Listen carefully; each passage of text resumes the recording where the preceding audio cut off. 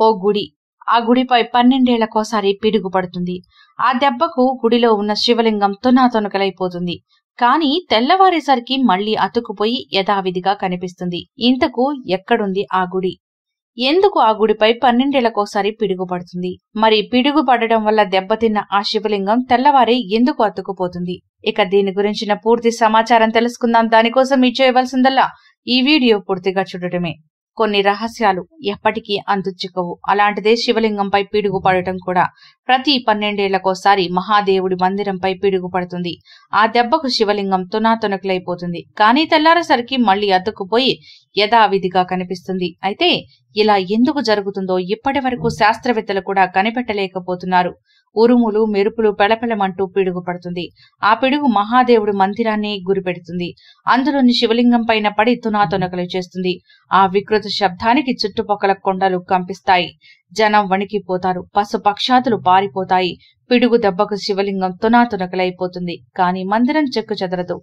కొండపై ఉన్న బండరాలు కూడా కింద పడవు. మరుసటి రోజు ఆ గుడికి వెళ్ళిన పూజారి తునా తునకలైన ముక్కలను ఒక్కచోట చేర్చి అభిషేకం చేస్తారు. ఆ రోజు గడిచేసరికి శివలింగం తిరిగి యథారూపంలోకి వస్తుంది. అంతకు ముందు ఎలా ఉండేదో అలాగే మారిపోతుంది. అక్కడ ఏమీ జరగనట్లు కనిపిస్తుంది. మరి దీన్ని వింతనాలో శివలీల అనాలో అర్థం కాని పరిస్థితి భక్తులది. ఇక ఇలా జరిగింది ఒక్కసారి రెండుసార్లు కాదు వందల ఏళ్ళ నుంచి వస్తుంది. ప్రతి పన్నెండేళ్ళకోసారి జరిగే అద్భుతం ఇది. ఈ ఆలయం పేరే బిజ్లీ మహదేవ్. ఈ ఈశ్వరుడి ఆలయం హిమాచల్ ప్రదేశ్లోని కులు వ్యాలీలో ఉంది. ఇలా జరగడానికి కారణాలు వివరించే ఒక కథ ప్రాచుర్యంలో ఉంది. అదేంటంటే పూర్వం కులు వ్యాలీలో మహాబలవంతుడైన ఓ రాక్షసుడు ఉండేవాడట. ఈ వ్యాలీలో కొన్ని గ్రామాలు కూడా ఉన్నాయి. అయితే అక్కడే జనాన్ని పశుపక్షులను నాశనం చేయడానికి ఆ రాక్షసుడు పెద్ద సర్పంగా మారుతాడు. బియాస్ నది నీటి ప్రవాహానికి అడ్డుపడి చుట్టుపక్కల ఉన్న గ్రామాల ప్రజలను ముంచేయడానికి ప్రయత్నిస్తుంటాడు. దీన్ని చూసి ఆగ్రహించిన ఈశ్వరుడు తన త్రిశూరంతో ఆ రాక్షసుని సంహరిస్తాడు. చనిపోతూనే ఆ రాక్షసుడు పెద్ద కొండగా మారిపోతాడు. అలా ఏర్పడింది ఈ కొండ అని పురాణాల కథనం. అయినప్పటికీ ప్రజలకు ముప్పు పొంచి ఉండడంతో శివుడు ఇదే కొండపై వెలిశాడని ప్రతీతి. అయితే ఆ రాక్షసుడు దేహాన్ని నాశనం చేయడానికి ఆ కొండపై పిడుగు వేయాల్సిందిగా ఇంద్రుణ్ణి శివుడు ఆదేశించారట.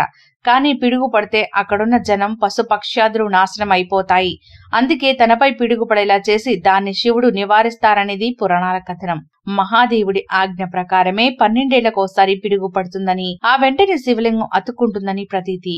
పన్నెండేళ్ళకోసారి శివలింగంపై పిడుగు పడడం అది తిరిగి అతుక్కోవడం మన దేశంలో ఎంతో అద్భుతంగా చెబుతారు. అయితే మహాదేవుడి ఆలయాన్ని చేరుకోవడం అంత ఈజీ అయితే కాదు. ఇది కొండపై సముద్ర మట్టానికి రెండు వేల నాలుగు వందల యాభై కిలోమీటర్ల ఎత్తులో ఉంది. రాళ్ళ కుప్పల మధ్య నుంచి నడుచుకుంటూ వెళ్ళాలి అదృష్టవంతులకు మాత్రమే ఈ కొండపై మహాదేవుడి దర్శనం లభిస్తుంది. పర్వతంపైకి వెళుతున్న కొద్దీ ఆక్సిజన్ తగ్గిపోవడం వల్ల శ్వాస తీసుకోవడం కూడా కష్టమవుతుంది. ఇక ఈ భోళా శంకరుడికి ఏడాదికోసారి ఉత్సవం నిర్వహిస్తారు. కొండపై నుంచి లోయ వరకు ఊరేగింపు నిర్వహించడం ఇక్కడ ఆనవాయితీ. సో చూసారు కదండి ఎప్పటికీ వీడని మిస్టరీగా ఉంది. బిజిలీ మహాదేవ్ మందిరంపై పడే పిడుగు. ఇక అదే విధంగా తునాతునకలైన ఆ శివలింగం అతుక్కోవడం వెనుకున్న రహస్యాన్ని కూడా ఇప్పటి వరకు ఎవరూ ఛేదించలేదు. ఇది శివలేలే కదా? మరి మీరేమంటారు? మీ అభిప్రాయాన్ని కామెంట్ బాక్స్లో రాయండి.